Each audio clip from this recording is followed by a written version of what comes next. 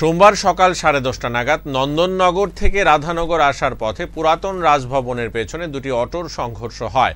তাতে গুরুতর আহত হয় নন্দননগর এলাকার অনামিকা দত্ত নামের এক মহিলা।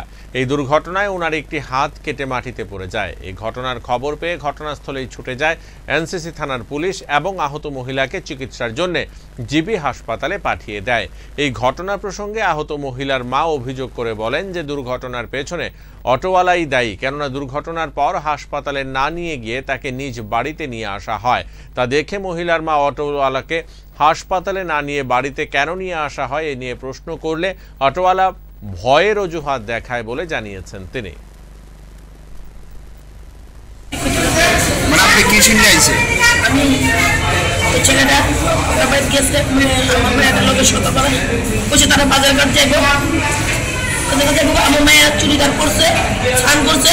ওই মায়ের লুইয়েছে আমার মায়ের উঠে দিয়া দশটা দশে বাড়িছে দশ মিনিটের পরে আমার মায়ের হাত নাই আমার কাছে অ্যাক্সিডেন্ট হয়েছে। তোমার মায়ের জীবিত আছে আমার বাদ লুয়ে গেছে অ্যাক্সিডেন্ট করে পাইয়া নেই এনে আমার কর কে দিছে? এই অটোগুলাটা আমি যদি তুমি যদি অ্যাকশন করে দাও তুমি তো হাসপাতাল আগে দিবা। আমার এই নাই চুকে ও না আমার ডর লাগে কে আমি কিছু করছি না। একজন গাড়ি ভাড়া দিয়ে গাড়ি তুমি আগে আনবা। এই আমি আর কিছু করতে পারিনি একটা আমার কাছে খবর আছে যে সাউথ একটা দুটো অটো ওই ওল্ড গভর্নর হাউসের পিছনে ট্রাফিক পুলিশের কাছে একটা দুর্ঘটনা হয়েছে। এবং দুর্ঘটনার কারণে নাকি এটা মহিলার হাত কেটে পড়ে গেছে রাস্তাতে। সেই অনুযায়ী আসি আমরা এবং এসে আমরা দুটো অটোকেই আমরা ডিটেন করি।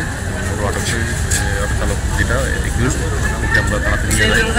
আর ভিকটিমকে আমরা হসপিটালে এখন আছে ট্রিটমেন্ট চলছে। নাম্বারগুলি পাওয়া গেছে।